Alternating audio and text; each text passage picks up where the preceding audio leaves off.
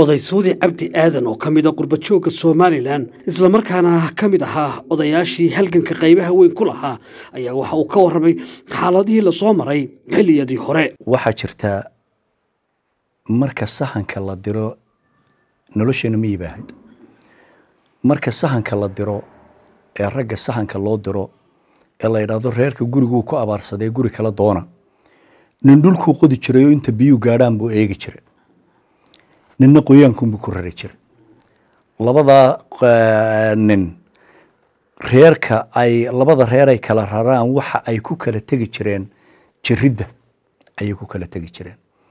Waayo kaa qoyaanka ku raray marka intii ka soo baxday dhulka ay dee xooluhu carabka marayaan may jiri jirin fiilka ayaa reerka kale uu haddii la odhanayo xoolihiisu ay haa marka ninba inbuu garanaya aynigan maanta jira ilaahay mahadi ha ka gaadhee waa labiyo toddobaad jir baanay miya miyaan ku lafa xumay waxa weeye waxaan ku dhashay xaafadan baarlin maalintaa aan dhashay dalka waxa xukumaya ingiriis. Waxaynu lahayn saddex xisbi. Xisbi wuxuu ku yaalay halkan dowladda hoose ay tahay oo s o l buu ahaa. Saddex aqal oo keliya ayaa dowladda hoose ka soo horjeeday. Oon aqal afraad lahayn. Dooxa u xigay. Xusbina wuxuu ku yaalay orientan hotelka dabadiisa s o l buu ahaa xusbigaas. Xusbina wuxuu ahaa wuxuu ku yaalay orientan hotelka dabadiisa oo naftaa la odhan jiray. N u f t. Xusbina wuxuu ahaa halka iminka bangiga dhinaciisa oo s n l buu ahaa xusbigaa leegadu wuxuu odhan jiray wuxuu odhan jiray xabiibkan ku dhaartay xorriyad helayaa ninbe xeeladiisu ku xoogsanaya. Markuu dadka la hadlayo. Xusbiga naftuna wuxuu odhan jiray haddii aad maqashayn michael waa kiristaan axmed baa muslina maqlayaa wadani bay odhan jireen.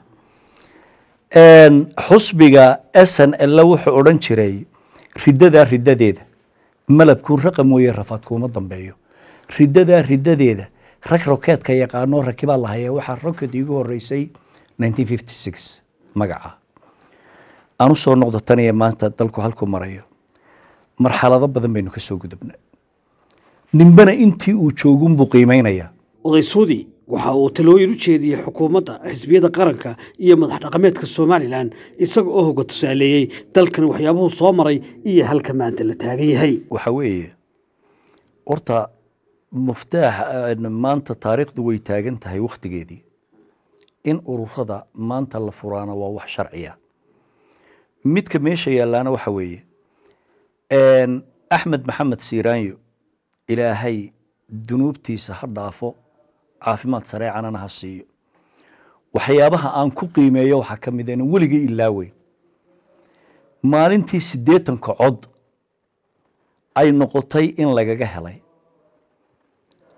siduu u qanciyey dhallinyaradii maanta dalka u soo dagaalantay ee u hareera taagnayd baal dahaba buu ku qorayay waxaana weeye maanta marka aad eegto xusbiyada in la furaa horta waa waajib.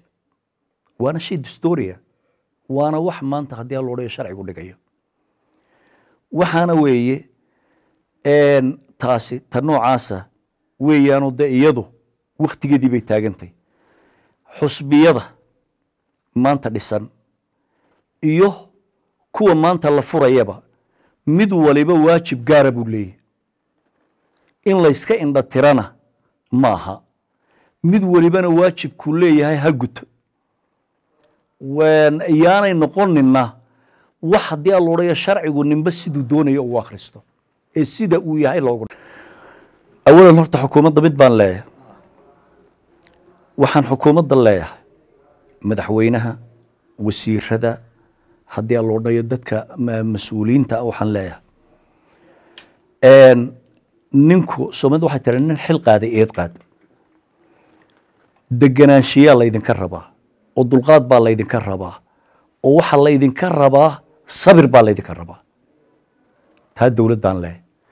Midna waxaan leeyahay xusbiyada labada xusbi mucaarid baan leeyahay. Labada xusbi mucaarad waxaan leeyahay. Walaalayaal maanta waxa la kala waxa loo baratamaya waa shacbiga. Ninkii shacbiga wuxuu ka iibiye hayow. Dee miidaankii furan yahay.